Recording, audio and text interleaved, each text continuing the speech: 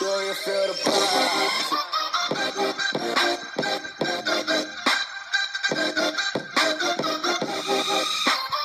guys, I'm back with another video, and as I said last week, today I'm going to be telling you what I like and dislike about K-pop. So to start, I'm going to do the things that I dislike first. Number one, the fact that your friends or family don't understand why you like K-pop. They may say things like, why do you listen to it? It's in a different language, or how can you even understand it? But, you know the saying, never judge a book by its cover, but here we are, judging songs by their languages. There are many pop songs that have different languages in them, like Spanish, and there are some rap songs that go so fast that you can't even hear what they're saying. But even if you don't understand K pop, you don't have to dislike it.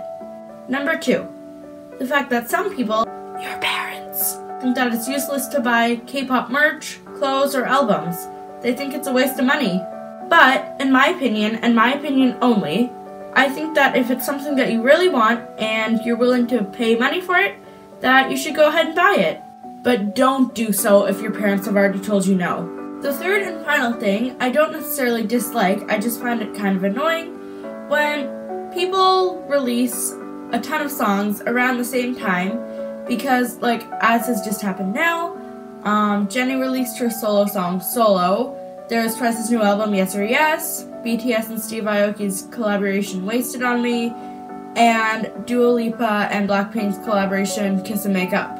This can be annoying for some people because they want to or just like to buy all the songs so they can be up to date, but for me, I like to journal all of the new songs that come out, so when I'm trying to journal for everything, it can take up a little bit more time than I would like. Now onto the things that I like. Now there's a lot of things that I like about K-pop, so I'm just going to say a few ones that maybe aren't quite obvious.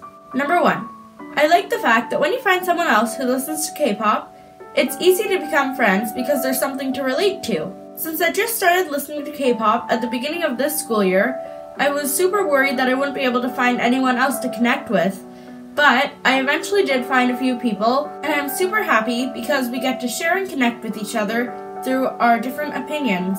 Number two, I love that there's a huge variety of groups to choose from, so you don't only have to listen to one group, and there are just boy groups, just girl groups, and a mix of the two genders, depending on what you like.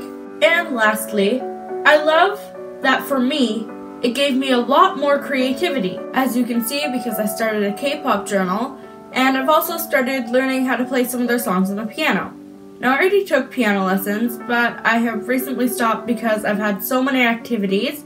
But it was super cool that I started to learn more songs again. And if you want to see what K-pop songs I'm playing, I made a Journal With Me video on that, which I will link in the I button if you want to check that out. Okay, so that's it for this week's video. Thank you guys for watching, and if you like this video, be sure to give it a thumbs up and subscribe for more.